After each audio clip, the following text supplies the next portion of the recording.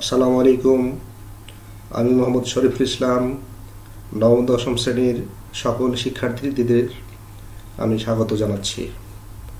আজকে আমি তোমাদের জন্যে বাংলা দ্বিতীয় পত্রের সমাসের ক্লাস নিয়ে এসেছি। যারা আমার এই ক্লাসে অংশ নিচ্ছ, সকলকে লাল গোলাপের শুভেচ্ছা। প্রথমে তোমরা দেখতে পাচ্ছ বাংলা ভাষার ব্যাকরণ নবম, দশম শ্রেণি। কহর পেজটি লক্ষ্য করলেই বুঝবে, আমি নবম, দশম শ্রেণির বাংলা ভাষার ব্যাকরণ বা বাংলা দ্বিতীয়পত্র বিষয়ে একটি পাঠ দিতে যাচ্ছি। এর পূর্বে আমি একটি পাঠ দিয়েছিলাম, সেটি হলো দ্বন্দ্ব সমাস। আজকে দ্বন্দ্ব সমাসের দ্বিতীয় পাঠটি দিচ্ছি। যারা প্রথম পাঠটি দেখেছ, তারা এই পাঠটি দেখলে অনেক উপকার পাবে। আর যারা প্রথম পাঠটি দেখো নাই, তারা সেটা দেখে নিবে। এবং সম্পূর্ণ দ্বন্দ্ব সমাজ জানতে হলে তোমাদেরকে অবশ্যই আমার তৃতীয় পাঠটিও দেখতে হবে। আমি প্রথমে আমার পরিচয় জানাচ্ছি। আমি মোহাম্মদ শরীফুল ইসলাম, সহকারী শিক্ষক, রেলওয়ে সরকারি চিলড্রেন পার্ক উচ্চ বিদ্যালয়, লালমনিরহাট। এছাড়া স্ক্রিনে আমার ইমেল অ্যাড্রেস দেখতে পাচ্ছ। তোমরা প্রয়োজনে আমাকে ইমেল করতে পারো।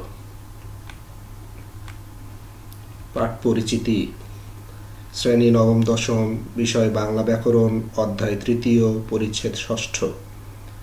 সাধারণ পাঠ হচ্ছে সমাস, বিশেষ পাঠ দ্বন্দ্ব সমাস।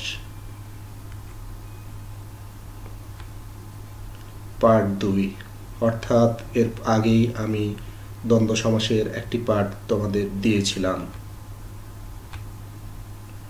আমি আশা করছি তোমরা অত্যন্ত মনোযোগ দিয়ে আমার লেসনটি দেখছ। আমি এখন কিছু ছবি দেখাবো, এটি তোমরা লক্ষ্য করবে। দুইটি ছবি দেখতে পাচ্ছ। প্রথম ছবিতে নাফিস নামে একটি বালক, দ্বিতীয় ছবিতে নৌসিন নামে একটি বালিকা। অর্থাৎ এখানে নাফিস ও নৌসিন আরও দুইটি ছবি দেখতে পাচ্ছ। প্রথম ছবিতে আমি, তৃতীয় ছবিতে তুমি। আমি নৌসিনকে তুমি। আমার সামনে উপস্থিত, এই বলে উপস্থাপন করলাম, তাহলে এখানে আমি ও তুমি। আরও দুইটি ছবি দেখতে পাচ্ছি। একজন আসছে, অর্থাৎ আসার ছবি, একজন যাচ্ছে, অর্থাৎ যাওয়ার ছবি। আরও দুইটি ছবি দেখতে পাচ্ছি, প্রথম ছবিটা মোটা ও দ্বিতীয় ছবিটা পাতলা। আরও দুইটি ছবি দেখতে পাচ্ছি, প্রথম ছবি হচ্ছে হাত দ্বিতীয় ছবি হচ্ছে অঙ্গ। দ্বিতীয় ছবি হচ্ছে পা, হাত ও পা। আরও ছবি, আবারও ছবিগুলো আমরা দেখি। প্রথমে ছিল নাফিস, পরে ছিল নৌসিন এখন আমরা নাফিস নৌসিন এই বলে উপস্থাপন করলাম। একইভাবে আমি ও তুমিকে আমি তুমি বলে উপস্থাপন করতে পারি। অনুরূপভাবে আসা ও যাওয়া না বলে আমরা আসা যাওয়া বলতে পারি। ঠিক তেমনই ভাবে মোটা ও পাতলা না বলে মোটা পাতলা বলতে পারি।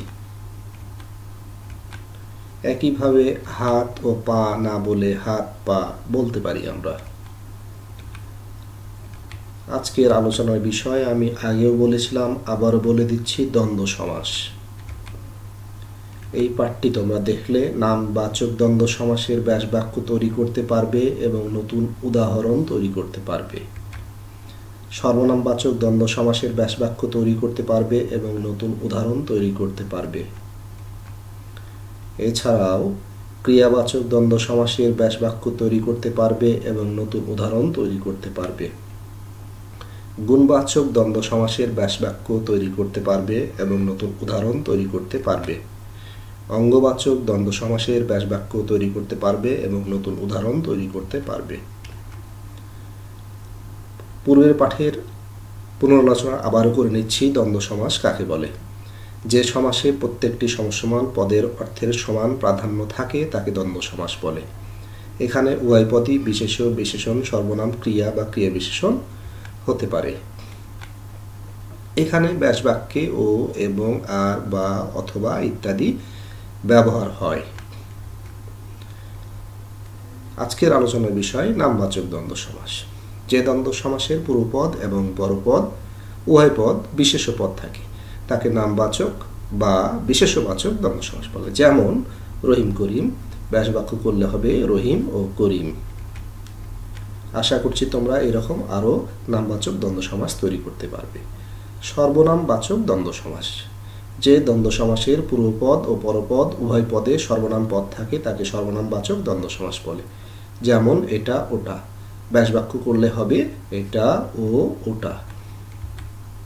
ক্রিয়াবাচক দ্বন্দ্ব সমাস।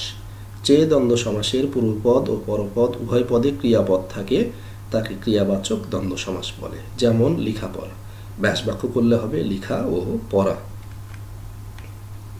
গুণবাচক দ্বন্দ্ব সমাস। যে দ্বন্দ্ব সমাসের পূর্বপদ ও পরপদ উভয় পদে বিশেষণ পদ থাকে। তাকে বিশেষণবাচক বা গুণবাচক দ্বন্দ্ব সমাস বলে। যেমন ভালো, মন্দ। ব্যাস বাক্য হবে ভালো ও মন্দ। অঙ্গবাচক দ্বন্দ্ব সমাস। যে দ্বন্দ্ব সমাসের পূর্বপদ ও পরপদ উভয় পদে শারীরিক অঙ্গের নাম থাকে, তাকে অঙ্গবাচক দ্বন্দ্ব সমাস বলে। যেমন চোখ মুখ ব্যাস বাক্য করলে হয় চোখ ও মুখ। উদাহরণগুলো আমরা পর্যায়ক্রমে আবার দেখি। তাহলে এমন, নাফিস নওসিন ব্যাস বাক্য নাফিস ও নওসিন নামবাচক দ্বন্দ্ব সমাস। আমি, তুমি, আমিও, তুমি, সর্বনামবাচক দ্বন্দ্ব সমাস। আসা যাওয়া আসা ও যাওয়া, ক্রিয়াবাচক দ্বন্দ্ব সমাস। মোটা পাতলা, মোটা ও পাতলা, গুণবাচক দ্বন্দ্ব সমাস। হাত পা, হাত ও পা, অঙ্গবাচক দ্বন্দ্ব সমাস। বাড়ির কাজ, আশা করছি তোমরা খাতায় বাক্যগুলো, শব্দগুলো লিখে নিবে। ঢাকা, রাজশাহী, এই, ওই স বসা, ধনী, গরিব, পেট, পিঠ, এগুলো সমস্ত পদ তোমার ব্যাস বাক্য লিখবে এবং কোনটি কোন সমাজ তাও নাম লিখবে। আমি যেগুলো আজকে আলোচনা করেছি সেই সমাসের উদাহরণ এখানে দিয়েছি। ধন্যবাদ তোমাদেরকে। আশা করছি তোমরা তৃতীয় লেসনটি দেখবে, তাহলে সম্পূর্ণ দ্বন্দ্ব সমাজ সম্পর্কে সম্যক জ্ঞান লাভ করতে পারবে। আল্লাহ হাফেজ।